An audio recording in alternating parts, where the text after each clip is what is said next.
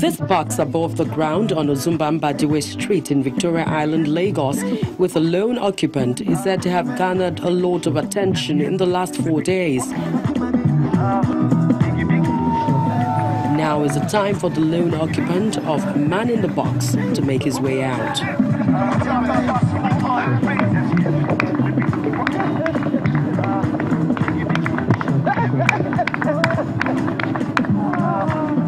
Then it's straight to a more formal event where a top official of MTN Nigeria explains why small, medium, and large scale enterprises are at the heart of this campaign. There were two driving forces. The one was we felt, let's see if we can excite the advertising space in Nigeria with something new.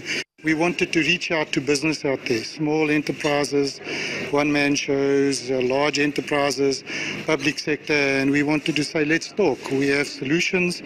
We want to hear how we can help you make your businesses better uh, and more profitable. MTN Nigeria says it's been a long journey, but one that is worth every inch. Any business wants to grow. Every business wants to improve um, productivity. Every business wants to drive. We have garnered experiences over the years, and we do believe that with that, those experiences we've gathered, speaking with these enterprises and engaging them, having some conversations, will help us understand their needs and enable us develop bespoke technology solutions that will help them achieve their business objectives. And for the lone occupant of this box, it's a journey of discovery. Being up um, a couple of floors high in the box on Ozumba Mbadiwe, I got to see a lot of Nigerians go back and forth. So it got to the point where I could, the, the, you know, you see a couple of cars that you saw in the morning heading this way, and then you see them in the evening heading this way.